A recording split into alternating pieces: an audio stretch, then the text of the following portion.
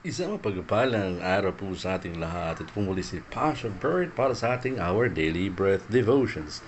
Um, before we begin our devotion for today, let us pray. Dear Father in heaven, we want to thank you for today. Thank you for the life you gave to us, to our families as well. Thank you for the air that we breathe, the heartbeat, the power, the strength that only comes from you, the source of everything in this world. I we continue to trust you, that you will heal all those patients in the COVID 19 war in, in the Philippines, from mild to critical cases in the name of Jesus. They will be healed in Jesus' name, we claim.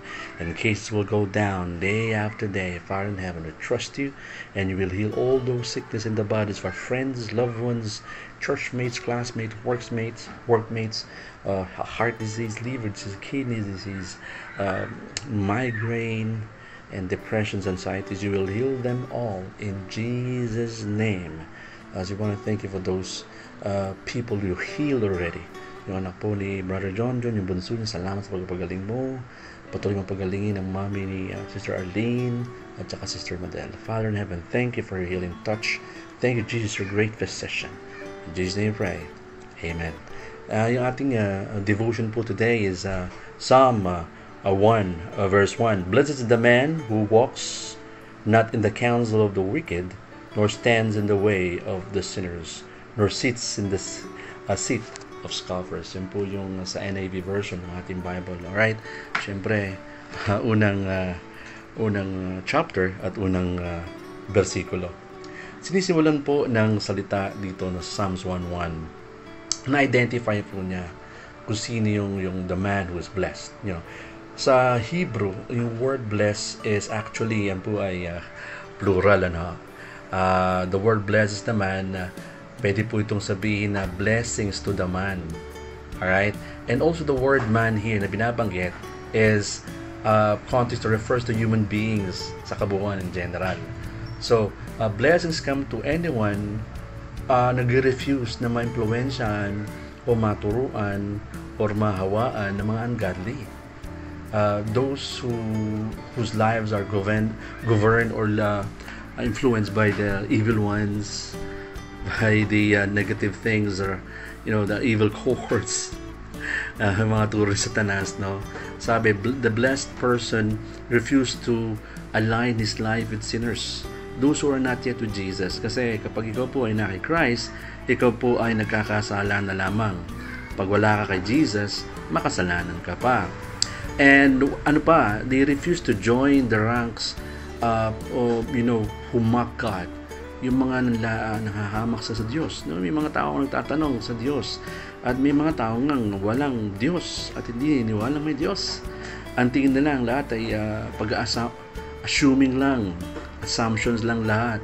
Walang Diyos. Lahat ay galing sa science or the law of evolution ni Darwin. no, nagaling tayo sa unggoy Well, hindi po talaga nakakapanipaniwala yan. Dahil hanggang ngayon, marami pang unggoy. Dapat naubusin mo unggoy. Tsaka, papayag ka bang yung pamilya mo ay galing sa unggoy? Siyempre, hindi naman. Sila yung mga taong uh, uh, nangahamak sa salita ng Diyos. Sinasabi ang Biblia ay gawa lang ng tao. Well, of course, gawa lang ng tao. Gawa ng tao, pinagawa ng Diyos through the Holy Spirit. Kung ginawa direkta ng Diyos yan, baka hindi mo maintindihan ang sulat niya. Kasi, pinagawa sa tao kasi para sa tao. Alright?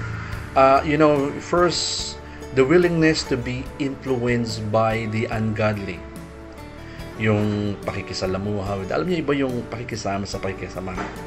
Hindi naman sinabi po dito na tayo ay umiwas sa mga kaibigan natin, office mates, church mate, ano, uh, schoolmates, or kamag-anak na hindi believers ni Lord. Hindi naman ganon. Pero ang pinakamaganda ay maispamuhay natin kung ano, paano tayo talaga tinawag, kung paano talaga tayo uh, binabago ng Panginoon Diyos para tayo nagkaroon ng born again experience, a believer of Jesus. Okay? Yung mga believers of Jesus need to lead a righteous life. What's righteous life? Siyempre, hindi na kung dati tayo ay nang-hold up, tayo ay nag-i-snatcher, nandadaya sa tindahan po natin, ano, eh now hindi na. No? Kung tayo ay uh, mga mister ng punta sa uh, patay sindi, agogo dancers, o nag, naglalasing, nagsashabu, nagbibisyo, kung ikaw ay member ng homosexual group or LGBT, dati ay ikaw ay lalaki, ano, babae, hinihinto mo na na Lord ka na. At sinisikap mo nang maituwid ang iyong buhay. Okay? Despite the temptations of popularity or comfort, yung believers ni Jesus should not, should not side with those disdain God's standards of righteousness. Uh, hindi tayo lilinya sa kanila. Hindi sinabing iwasan. Huwag gayahin, huwag tularan.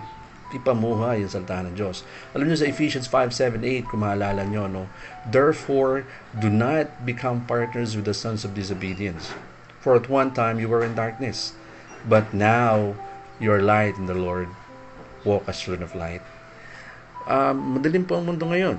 Pandemic, maraming sinisisi rin ng Diyos. Marami naman sinasabi para tingnan ng Lord. So, whatever the role of believers of Jesus to be light, meaning we should live our lives in the righteous manner. Okay, yung mga sins na ginagawa dati, hinto na natin yung mga kamunduhan na yan, hinihinto na natin, lalo yung mga bisyo na yan, no? Ayan na natin silang gumawa. Kung tayo may mga office, ka-opisina gumagawa niyan, hindi mo kailangang mag-share ng gospel at makitumpok sa inuman nila. hindi mo kailangan gawin yon Hindi mo kailangan gawin yon Pwede mo silang share ng gospel sa ibang uh, pagkakataon. Huwag doon sa inuman. Kasi mamaya, yung share ka, napapatagay ka na, tapos namamulutan ka rin. So, there are many ways to win souls and make disciples. There are many, many ways. There are lots of things you can do to share the gospel. So, mga kapatid, mga kaibigan, mga believers of Jesus, at mga nanonood ng video ko to, uh, again, there's no such things as sinlessness, but we can only sin less and less and less. We need to be uh, uh, guided by the word of the Lord in our daily life. We're not perfect. We make mistakes once in a while. But the good thing is, the word of the Lord is, sabi nga ng pastor ko dati, Pastor Willie, the blueprint ng ating buhay. Promises, instructions, lahat nakasulat dyan. So, kung may tanong ka, pwede mong basahin. Kung hindi mo maintindihan naman yung content or yung context, you can ask pastors or workers in the church to help you and to guide you. Kasi minsan yung iba, basa ng basa, uh, mali yung exegesis. Exegesis is yung ano ba talaga yung original gusto sabihin nung sumulat nung, nung ano, talata, ano, doon sa mga kausap niya doon sa panahon na yon and then tsaka mo siya extract at tsaka yung uh, hermeneutics the proper interpretation of the uh, verses or mga talata no hindi basta-basta siya dinadampot na lang at biglang pinapalip sinasabi mo na lang ng gano'n no so kaya maraming naliligaw no? so maraming uh, napapasya nga po, upo na lang ng upo because they're not reading the Bible. So we need to read the Bible, pray every day. Our daily breath aims to inspire you every day, mga kapatid, mga believers of Jesus, and hope you're always going to be safe and uh, sound and healthy and happy. Christmas is uh, really approaching fast. So tayo pa patuloy na magkaroon ng happy mood, Christmas mode. Ayan na po. Ayan. Pasko na po sa bahay namin. Uh, at September pa, Pasko na. So pagpalain po kayo lahat.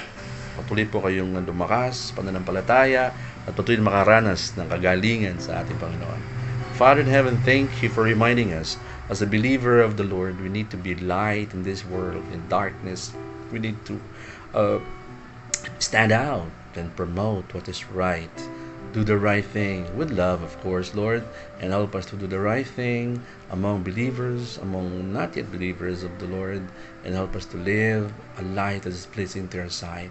Not perfect, but in progress, because we believe you're changing us from glory to glory.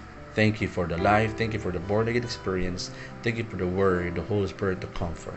Thank you for the blessings. In Jesus' name I pray. Amen. Thank you po sa panonood sa ating Our Daily Breath. Ito muli si Pastor Bird, your daily bird. Patuloy po kayo makaranas ng kapayapaan at kabutihan ng Diyos na kanyang habag, pag-asa mula kay Jesus. Mag-ingat po kayo lagi. God bless. Thank you and see you all. Salamat.